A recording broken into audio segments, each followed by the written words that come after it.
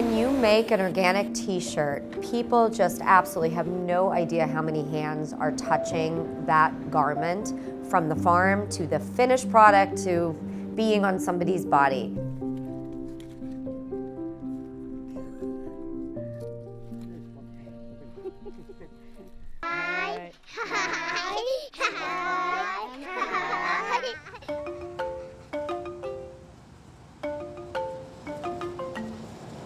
మీకు మొదటి నుంచి మీరు గడ్డి పిక్కలు వేసినప్పుడు ఎలా ఉండేది? మనకి సేంద్రియ పద్ధతికి మారిన తర్వాత బెనిఫిట్లు ఏమున్నాయి? నెక్స్ట్ వీటి మీద పురుగులు కూడా ఏవి కూడా వాలు అంతగా సేంద్రియ పద్ధతిలోనే అదే వేరే అనుకోండి అవి హైబ్రిడ్ అనుకోండి వాటికి పురుగు శాతం ఎక్కువ వస్తుంది. ఊర్లో ఏమన్నా ప్రాబ్లమ్స్ కానీ ఏమన్నా జరిగేవమ్మా? వచ్చేవి. ఏం ప్రాబ్లమ్స్ ఉండేవి? అలాగే క్యాన్సర్లు ఏ జబ్బులు ఏ కాళ్ళు రాపడము చేతులు రాపడము. ఇప్పుడు మరేం లేవులే కొంచెం ఆరోగ్యంగా ఉన్న మనుషులము పంటలు కూడా వస్తున్నాయి బాగానే ఉన్నాయి. హీటు అలాగ తగ్గిపోయి మళ్ళీ చల్లగా అయిపోయి చనిపోయే రోజులు కూడా ఉన్నాయి కొంతమంది. అలాంటివి ఇవన్నీ చూసి మా కొంచెం ఇవన్నీ కూడా ఇబ్బంది అనిపించింది మాకు. అంటే అదే మాకు ఫ్యూచర్లో వాళ్ళకి జరిగింది మాకు జరగదని గ్యారంటీ లేదు కదా. రసాయనం వచ్చే రసాయనం వ్యవసాయం వ్యవసాయం చేసేటప్పుడు. మళ్ళీ మా ఆర్గానిక్ చేయడం వల్ల మాకు మాకు ఎలాగో మా దగ్గర పశువులు గట్రా అన్నీ ఉంటాయి.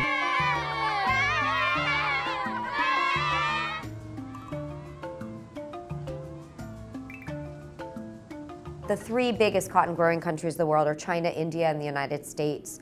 The infrastructure for manufacturing is much stronger in India and China than in the United States. And Indian farmers really do have an affinity for wanting to do healthy, uh, sustainable agriculture. We have an office, Eco Fashion Corp has an office in India. So we have a whole team on the ground that manages our productions, manages our cotton farms, manages our factories, inspections and sourcing and QC. So the just the relationship is very, very strong. this whole climatic change, this whole environment friendly production lines, and everything that we do to make sure that everything is sustainable and traceable is the core of our business. GOTS is a global standard for organic textiles, and the idea of GOTS is to make sure that the whole chain of production, which starts from fiber to the end product, is completely traceable. The GOTS standard is the highest standard of a finished organic textile. Why? Because it includes not just the cotton itself, but it includes what is in that textile across the board from the dyes to the finishes to the packaging. The hang tags have to be post consumer recycled. We can't use any lead. We can't use buttons or, or zippers on jackets that have heavy metals.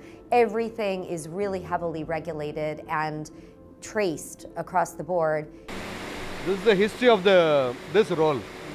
What dia, what is the weight of the thing, and who did it, and what time in which machine.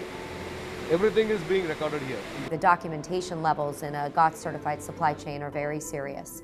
All the way from the cotton, you can measure this cotton went to this yarn, went to this fabric, went to this garment, went to this brand, went to this retailer, and you can track it across the way. So GOTS is very important to me. It's something that I was a part of building. Um, I was on the team of people that wrote the GOTS standard in the 90s. We're now going in our sixth version of that standard, so we're always raising the bar. People may not realize that buying an organic garment that isn't certified to the GOTS standard basically tells you nothing about the dyes and the finishes that it might be used. So you might think it's organic because somebody labeled it correctly or incorrectly in terms of the content, but they could be using some organic cotton in the product, but then be like literally, you know, bathing it, if you will, in toxic chemicals.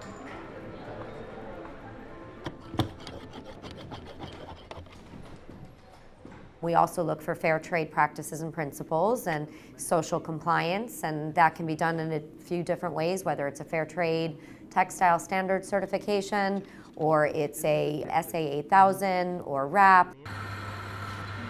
So we've built long-term relationships with factories that we've learned, you know, the good, the bad, and the ugly, who to trust and who not to trust through our own experience. Um, so many of our factories are long-term partners. We also look for a sense of we're in this together, not me against you, not me at you, but us together. Because if we work holding hands on finding solutions and innovating together, we're all going to win. Good thing is now people are realizing this challenge is an opportunity and not a threat. So going back again to you know like a decade ago, people thought this is a threat, wherein they might lose business because they are not compliant enough to do a certain kind of business which has to do with sustainability, recycling, reuse. But now the whole mindset has changed. People are thinking now this is an opportunity, this is future, this is what they need to be doing. So they, they the, not only the not only the, the process which is related to production, but they also understand that what a customer is looking at, what a customer is thinking while they're buying products. So the whole idea of sustainability has traveled right from the customer to the to the last person in the production process to the lowest level where they understand if they don't follow sustainability, if they don't follow certain rules of the game today, they'll be left behind. I love collaborating with like-minded organizations like 4Ocean because we share a vision to shift the paradigm of business and to demonstrate that you don't have to compromise on social or environmental progress or priority. You can actually have it all, and it's about yes and. It's about no compromise. It's not an easy process, and when you see people selling a t-shirt for $4.99, you gotta wonder there, like, they're still going through all those processes. So you think of who gets crammed down in the end are the farmers and the workers.